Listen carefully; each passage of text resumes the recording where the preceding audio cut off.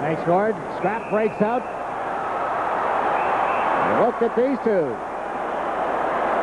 Donald Brashear and Craighead, two guys who have done this a few times, but not in this league against each other. If I was the linesman, I wouldn't want to go in there too early. These are two big birds.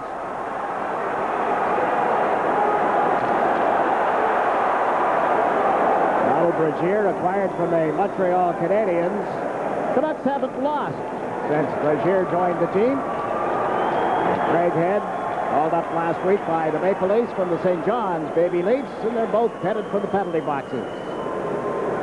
And there's 15 guys in each team breathing a sigh of relief. They didn't have to go in against either one of those guys.